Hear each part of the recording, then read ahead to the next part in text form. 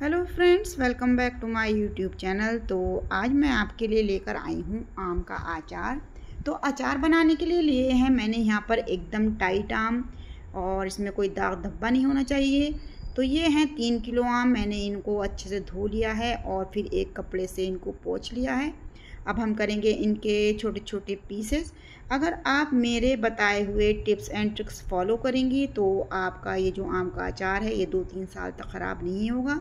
तो देखिए, यहाँ पर आम के पीसेस काटने के बाद इसके अंदर की गुठलियों को हमने निकाल लिया है और इसके अंदर एक पन्नी जैसा पेपर लगा होता है, इसको भी हमें अचार की फांकों से अलग कर लेना है। तो देखिए, यहाँ पर मेरे सारे आम कट हो चुके हैं। अब हमें इन अचार की फाँकों को नमक और हल्दी लगाकर पूरी रात के लिए रखना है तो यहाँ पर ले लिया है मैंने एक बाल्टी। आप चाहें तो कोई और गहरा बर्तन ले सकती हैं। अब इसके अंदर डालेंगे हम दो बड़ा चम्मच नमक और डालेंगे साथ में एक बड़ा चम्मच हल्दी और इनको पूरी रात के लिए ढक्कन ढक कर हम इनको छोड़ देंगे। तो देखिए इनको अच्छे से हमें कर लेना है मिक्स। और इसको मैंने लगा दिया है ढक्कन।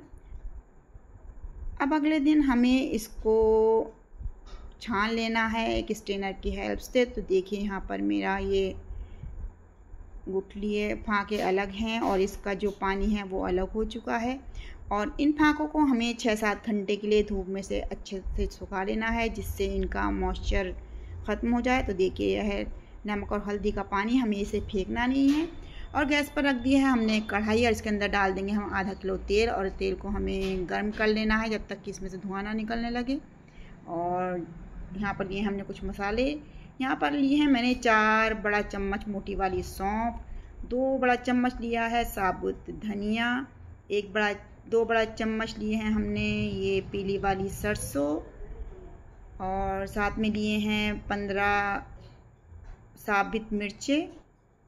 और एक बड़ा चम्मच लिया है हमने मेथी दाना और एक बड़ा ही चम्मच हमने ले लिया है यहाँ पर ज़ीरा और साथ में लिया है एक बड़ा चम्मच अजवाइन और एक ही बड़ा चम्मच ली है हमने यहाँ पे कलौजी जिसको कि मंगरेला भी बोलते हैं और इसको हमने कर लिया है अच्छे से साफ़। और साथ में लिया है एक छोटा चम्मच हींग और एक कश्मीरी लाल मिर्च का पैकेट। काश्मीरी लाल मिर्च से इसका कलर बहुत अच्छा आता है। और साथ में लिया है बाउल, इसके लिए अंदर ले लेंगे हम दो चम्मच नमक, दो, हाफ़ टी स्पून हल्दी और दो ही छोटा चम्मच लेंगे हम लाल मिर्च का पाउडर, ये तीखी वाली लाल मिर्च है। और साथ में लेंगे इसमें, अब हमें इन सारे मसालों को करना है ड्राई रोस्ट। तो सारे मसाले हम एक पैन के अंदर डाल देंगे और इनको बिल्कुल लो फ्लेम पर रोस्ट कर लेंगे, जिससे कि हमारे मसालों की सारी नमी निकल जाए। तो देखिए, यहाँ पर हमने अपने मसालों को रोस्ट कर लिया है और यहाँ पर हमारा तेल भी गर्म हो चुका है और इसको, तेल को अब हम ठंडा करने के लिए छोड़ देंगे। अगर आप मेरे बताए हुए टिप्स एंड ट्रिक्स फॉलो करेंगी तो आपका अचार सालों साल ख़राब नहीं होगा। तो हमारा मसाला अच्छे से भुन चुका है। इसमें एक अच्छी सी खुशबू आने लगी है। अब हम इन मसालों को ठंडा करने के लिए एक प्लेट के अंदर निकाल लेंगे और इसी पैन के अंदर हम कलौजी, ज़ीरा, मेथी, दाना और हींग इनको भी गरम पैन के अंदर ऐसे ही डालकर छोड़ देंगे जिससे कि उनकी भी नमी निकल जाए। तो ये हमारे पीसने वाले मसाले हैं, इसलिए मैंने इनको अलग रोस्ट करा है। और साथ में लेंगे हम सोडियम बेंजोएट। तो देखिए, यहाँ पर हमारे अचार की पाके अच्छे से सूख चुकी हैं। इसके अंदर देखिए, आप, मैं दबा कर दिखा रही हूँ, बिल्कुल भी मॉइस्चर नहीं है। तो आपको अचार की फाँकों को सुखा लेना छः सात घंटे के लिए, या आप चाहें तो इसको पूरी रात के लिए पंखे के नीचे भी सुखा सकती हैं। अब हमारे मसाले ठंडे हो चुके चुके हैं। अब हम लेंगे एक मिक्सी का जार और इसके अंदर अपने मसालों को दर दरा कूट लेना है। ध्यान रहे कि हमें इसका फ़ाइन पाउडर नहीं बनाना है, क्योंकि अचार के मसालों में मोटा मोटा मसाला ही रखा जाता है।